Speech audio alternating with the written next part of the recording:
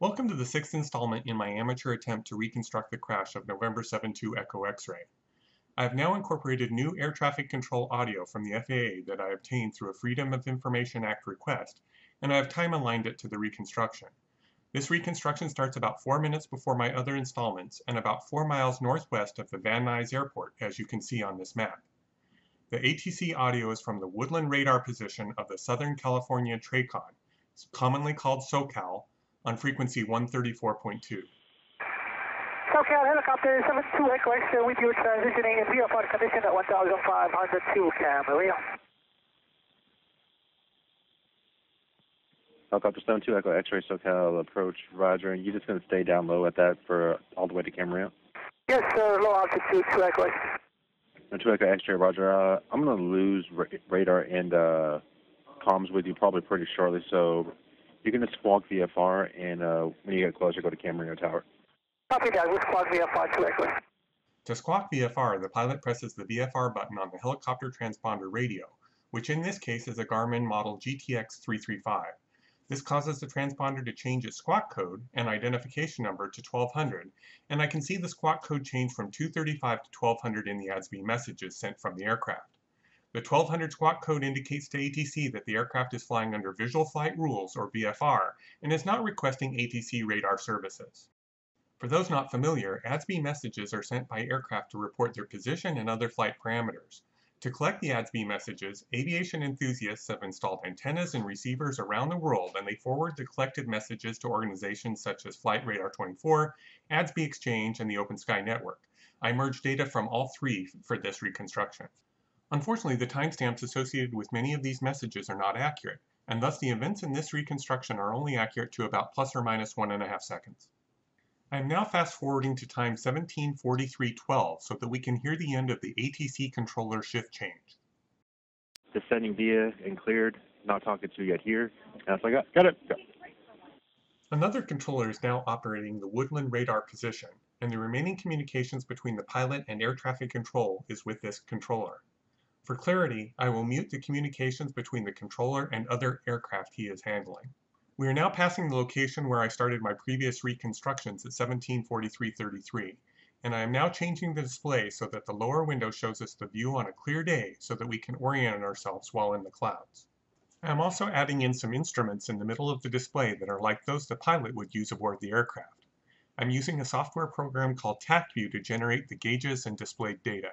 This readout and gauge show the rate that the helicopter is going up and down in feet per minute and this readout and gauge show the true airspeed in knots. The attitude indicator, sometimes called artificial horizon, is used by the pilot to see how the helicopter is oriented with respect to the ground. As you can see here in this turn, the line from the indicator remains parallel to the horizon line below. Getting the marine layer, a kind of cloud and fog, to look as I imagine is extremely challenging using the stock X-Plane 11 simulator, and I was not entirely successful. That said, I believe the helicopter is now nearly surrounded by fog. The helicopter begins to climb at 1744.30. SoCal 4 helicopter 2 Echo X-ray. We're going to go ahead and start our climb to go above the uh, layers, and uh, we're going to stay with you. Two Echo X-ray. Uh, where are you? Uh, just west of Van Nuys, 2 Echo X-ray. Two Echo, Echo X-ray ident. Ident.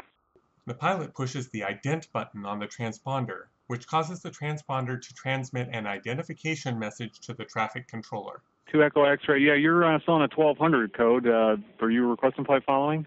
Yes, sir, 2 Echo X-ray. The controller spends the next few seconds talking to other pilots. Meanwhile, for reasons not yet known, the helicopter begins a left turn and starts descending.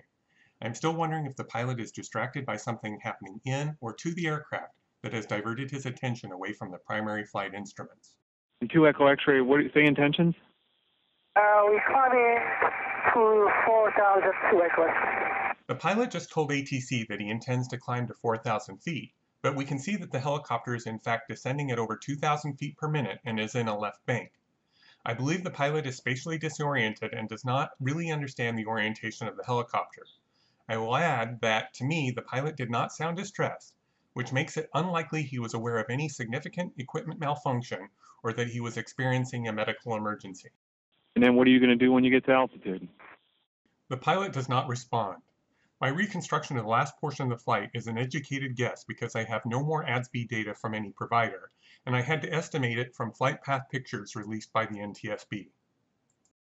The FAA did not record any further transmissions from the helicopter, and the controller attempts to contact the pilot two more times at 174602 and 174626. Uh, two Echo X-ray. You're uh, still too low level uh, for uh, flight following at this time. Two Echo X-ray SoCal. That is the end of all ATC communications involving November 2 Echo X-ray. I believe this amateur reconstruction is consistent with the hypothesis that the crash was due in part to the pilot being spatially disoriented while in the clouds. As I've said before, I will be interested to see how close my reconstructions match the NTSB and whether there are other factors such as mechanical failure of which we are not currently aware.